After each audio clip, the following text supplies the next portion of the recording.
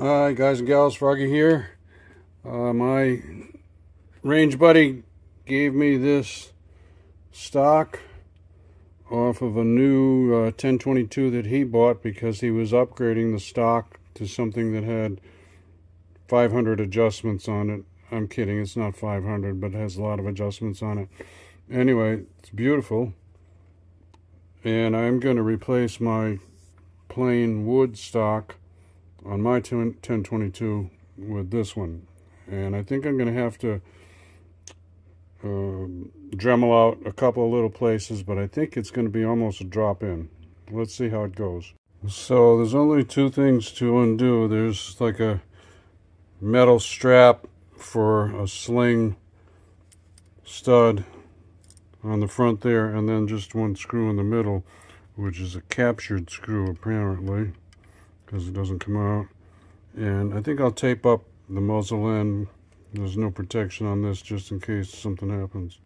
So what I'm doing is I'm making a scribe line. Uh, I got a shadow on my phone there. Sorry, there, that's better. So I'm scribing a line where the bolt comes up from the bottom there. And I'm then scribing a line where it meets right there. Sorry, my headlamp is giving me problems. There, right there, you can see the line I drew right there for that hole in the lower receiver. So those two have to line up.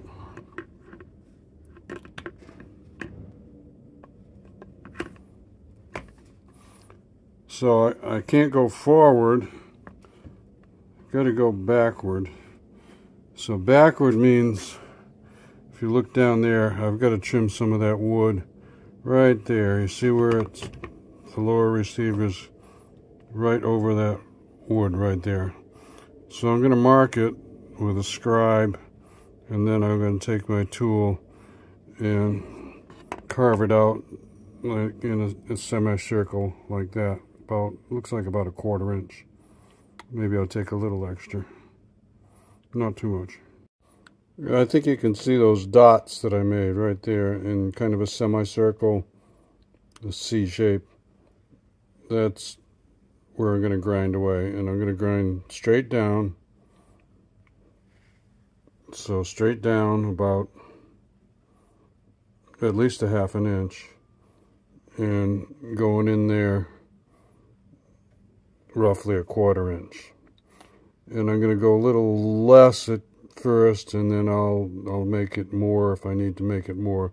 Because I want that to be kind of a tight fit there um, so that uh, you know it's kind of like custom fitting the lower receiver to this frame okay? I think one of these little round sanding wheels might do it. It's coarse so that should cut that wood. Let's try it. So this is where I ended up. I dropped it in. This this screw will tighten up here. But I think on the gun that this stock came off of I think there's another screw here. And on mine it was here and here two places of attachment so I'm thinking I have to figure out some way to anchor this receiver into the stock back here, right around this area here. So what I'm thinking is possibly to flow something in there like uh, an epoxy or some kind of a resin or something, flow it in there. And I'm going to show you. I'm trying to do this with one hand. I think it'll flow into here, right, down there into here, and then I'll be able to take this in and out, and that whatever I decide to put in here will be attached to the stock, the wood stock, but it will not fasten itself to this metal. So I guess I'm kind of looking for any ideas. If you guys and gals have any ideas on what material I could use to flow into this hole here. Um, I don't know. I don't know. I know there's a lot of stuff that, that will be liquid and then turn more towards a solid. Uh, but I don't know which one. I'm not a chemist. I don't know um, the specifics. So if you have an idea, uh, put it down in the comments. Uh, if this helps you out, give me a thumbs up or a like. Uh, subscribe to my channel if you want more from Froggy. Ring the bell if you want notifications. Uh, be safe. Have fun. Froggy out. Let's go, Brandon.